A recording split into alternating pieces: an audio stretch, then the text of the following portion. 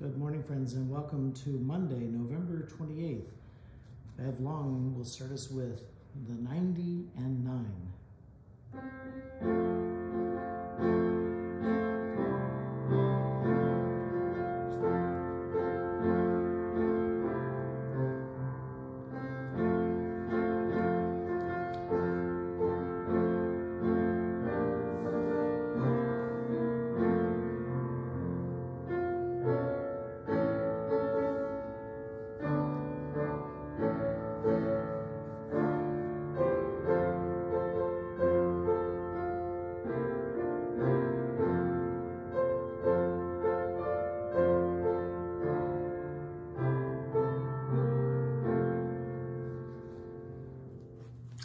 Monday's devotion is found in the Upper Room Discipline, written by Ben Yosua-Davis. And our scripture reading this morning is Isaiah 11, 1 to 5. A shoot shall come out from the stump of Jesse, and a branch shall grow out of his roots. The Spirit of the Lord shall rest on him, the Spirit of wisdom and understanding, the Spirit of counsel and might, the Spirit of knowledge and the fear of the Lord his delight shall be in the, the fear of the Lord.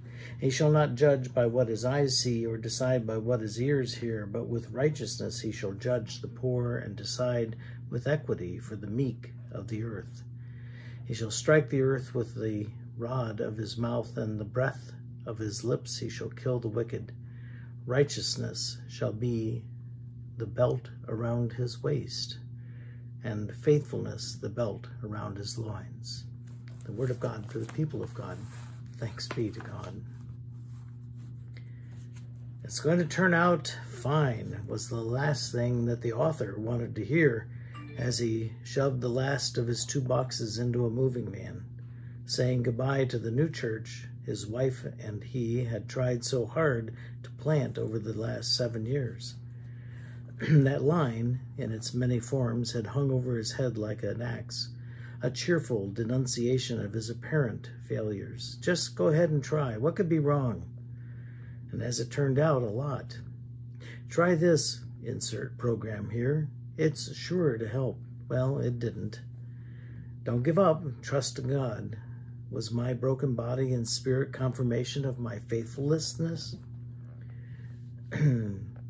We live in a culture that is addicted to the belief that a happy ending is always right around the corner. But he had learned the hard way that believing everything will magically fix itself is sometimes the worst form of reality denial. Isaiah writes to a community whose optimism had been proven false.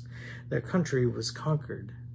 People had been ripped from their homes and sent into exile and they had lost much of what they had most deeply valued, possibly forever. In this context, we read, A shoot shall come out from the stump, a branch from its roots. Doesn't seem like much of a promise, but the author remembers holding on to it as they drove off, saying goodbye to the city that they had grown to love and the dreams that they had worked so hard to make real. It wasn't the promise that everything would turn out fine, but it was the promise that life would go on.